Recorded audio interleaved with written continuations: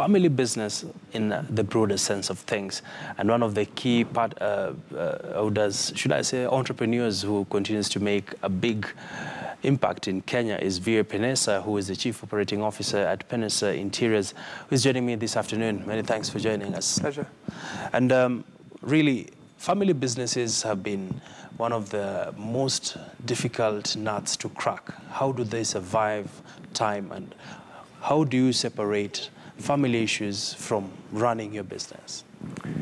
Uh, we've been doing it a long time. Uh, we're turning 70 next year. Um, it requires a lot of passion. Uh, you know, you wake up very early in the morning and go to business every day. Um, but it also requires a lot of job knowledge. You need to know a lot about your product and a lot about your customers. Um, and I think particularly for Panesar Interiors, we have a strong team. Um, there's only two of us in the family running the business currently. And we feel that we have now developed a very strong team that will help Panesar's move forward in the future. All right. And um, talking about Panesar marking 70 years, perhaps walk us through some of the key areas that the business has a, should I say, a stronghold in. Panesar has a, a strong understanding of its customers. Um, yes, we have a, a good footprint in Kenya. Um, our footprint doesn't just uh, stretch across Kenya, but it stretches globally. Um, we've sent our products all the way to Canada, to Australia. Um, the, the Queen of England has a piece of Panesar's furniture in Buckingham Palace. Awesome. So we're very proud of that fact. Mm -hmm.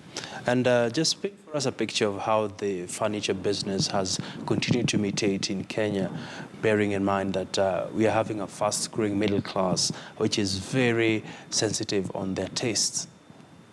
Uh, taste is definitely one thing that Kenya has definitely sprung to life with. Um, look, Panesar started back in the 40s, back in the 50s, and it still has a very strong British colonialism amongst the public. Um, that, that British style, that Victorian style, is still very evident, especially in the upper markets and the upper criteria of people. Um, that's why traditional furniture and classic furniture is still a stronghold for Panesar's. Um, even though we've spread our hands across modern furniture, um, it, the trend of classic furniture is still very strong, especially in East Africa. Sure.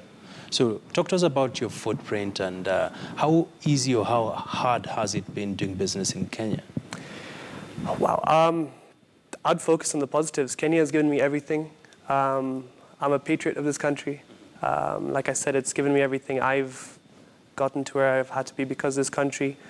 Um, like I said, if, as long as you're following, as long as you keep together with your clients and you keep your customers happy, um, it's a good place to do business in. Don't get me wrong. All right. And uh, how, what are your plans around that uh, there's a good uptake in the Kenyan market and uh, any plans to expand into the region in East Africa? Well, 2016, 2017. Um, 2016 was a very good year for Panesar's. Um, we grew about, I would say about 15, 20% um, in 2016. 2017, everyone knows what's happened this year. It's been a little slow. Yes, in 2018, 2019, we do plan on uh, extending uh, Panesar's arms. We do plan on opening up a, a store in Uganda very, very soon. Um, and like I said, we've been doing a lot of business now in Rwanda and Tanzania also. We've just finished off the presidential office in Rwanda, which is, uh, which is a nice little touch for Panesar's. Right. And uh, speaking about that, uh, what's your strategy really for Kenya and even as you venture into Uganda? Will you be banking on pricing or the brand name or a uh, mix of the two? Panesar's has a very strong focus on its product. Uh, we, we really feel our product will do the talking um, in the market wherever we do go to. Um, that's the survival game that it's been for the last 70 years. If we can't offer our client the best product, um, we're second. Um, so the, the focus is still on making sure that our product is great. We're keeping up with trends. Uh, we're keeping up with the latest technologies, but still providing the client with that extra touch. Um, it is a family-owned business. If, if I don't come to see you, my father will. And um, I like the fact that uh, you're saying right now you're only two of you in the business.